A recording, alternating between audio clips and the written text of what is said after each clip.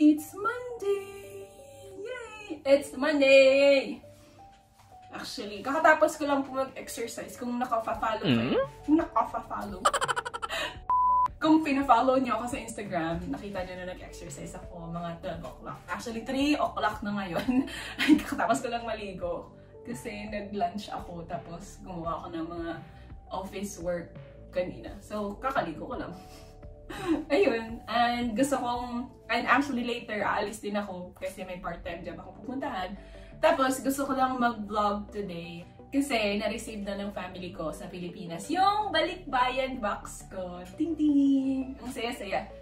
Kung bago kayo dito sa channel ko, hindi niyo ako kilala. My name is Shar, Shar in China. I'm a Filipina here in China. And I've been here in China for almost 4 years. Yay! Ayun, and this is actually my first vlog na Tagalog. Yay! Bakit ba ako nag, ano, kasi siguro ano, lahat ng vlogs ko English kasi nandito nga ako sa ibang bansa so parang nagpa-practice din ako ng English ko so that I could communicate with other people or other foreigners here in China as well. The reason why bakit ako nagpadala ng balikbayan box sa Pilipinas is because hindi ko mapadala yung sarili ko. So, ang ginawa ko, pinadala ko na lang yung love ko through balikbayan box. So, actually, it's been 3 years. So, 2021 na ngayon.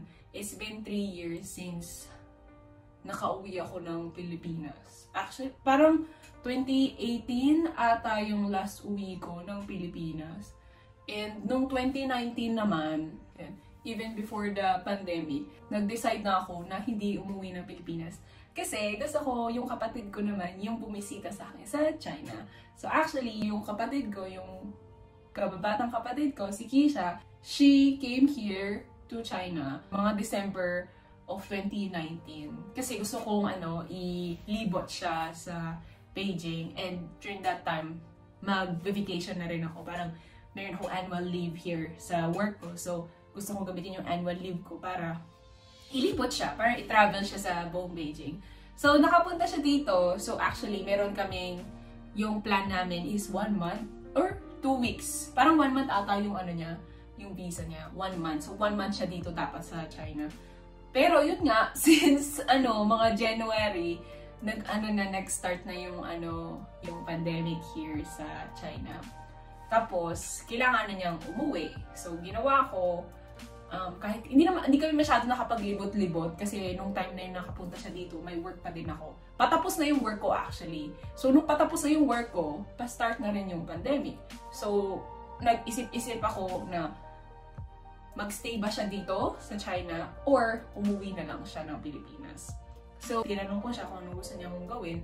Sabi niya, gusto niyang umuwi. Eh di, umuwi na siya. So, ginawa ko, nag-book ako ng flight para sa kanya Okay, bakit ako hindi sumabay sa kapatid ko pauwi ng Pilipinas? Kasi may tatlong reason ako ba't hindi ako umuwi. First one is, may dog ako dito, may aso ako dito. So, hindi ko siya maiwan. Pangalawa, yung boyfriend ko, Chinese, so nandito rin siya. Pangatlo, yung work ko, nandito din. Tas, so, parang inisip ko, pag umuwi ako, paano yung dog ko yung boyfriend ko? Kailan ko sila makikita ulit? Mangatlo naman, paano yung work ko? Kailan ako makakabalik dito para sa work? So, pag hindi ako nakapag-work, edi wala akong pera. So, parang inisip ko talaga siya maigi. So, parang sabi ko, sige, ikaw na lang umuwi. So, umuwi siya. Tapos, yun, 3 years na, hindi ko pa rin sila nakikita. Actually, medyo, medyo sad. Kasi nga, ano, it's been 3 years. Ang hirap kasi, yung nandito ka sa ibang bansa, tapos wala ka rin masyadong friends, wala ka rin masyadong, yun nga, wala kang pamilya dito. So, medyo mahirap. So, ginawa ko, ginawa ko, nagbalikbayan box na ako sa kanila. Kaso yung balikbayan box ko actually, walang masyadong laman kasi wala rin ako masyadong pera. So, ginawa ko yung gamit mga here sa bahay na hindi ko na masyadong ginagamit or pwede kong ibigay sa kanila na alam ko na magagamit nila. Binigay ko na sa kanila. Tapos, binilan ko na lang sila ng um, konting noodles, konting candy, konting um, gadgets. Uh, binilan ko sila ng ano, headphones. Hindi naman ganun kamahalin na headphones. Actually, murahin lang siya dito. Ayun. So, binilan ko na lang sila ng mga gamit. Tapos, naghanap-hanap ako ng mga gamit dito sa bahay. Para mga ano,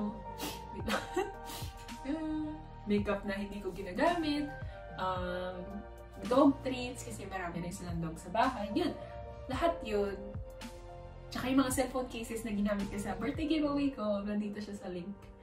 Ayun, lahat yon ano, pinadala ko na lang sa kanila sa, ano, balikbayan box. Kasi nga, ako, hindi ako makaka-uwi. Kasi, pag umuwi ako, paano yung work ko dito sa, ano, sa China? Yun, lalo kaming walang pera. Ayun. Sa tingin ko naman, nagustuhan nila yung mga pinadala ko. Sa tingin ko din, ano, naramdaman naman nila na yun yung binibigay kong love. Actually, yun lang. Yun yung vlog today. Ang ikli, no?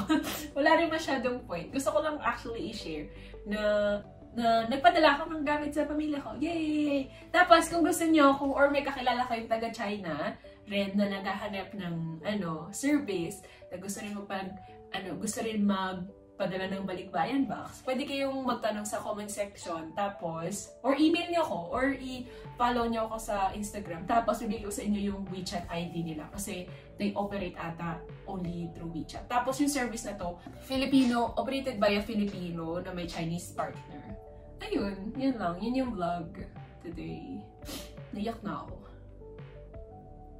Ayun, naalis na ako kasi may work pa ako. Ayun lang. See you next time and hopefully you, like, na nagtatagalog ako dito. Tatagalog ako sa vlog ko. Okay. Bye-bye! Oh, wait, ano pala, don't forget to, ano, like, tapos subscribe to my channel, tapos share it to your friends if your friends like this kind of content. Ayun! Bye-bye! Bye! -bye. Bye!